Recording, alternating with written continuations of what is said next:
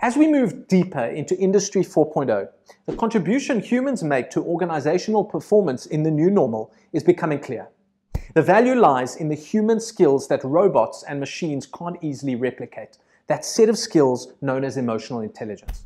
So in this session, we'll look at the critical need for company-wide emotional intelligence as a competitive advantage in Industry 4.0 why EQ is the most salient human contribution to organizational performance, and key technologies that can help to develop EQ at scale.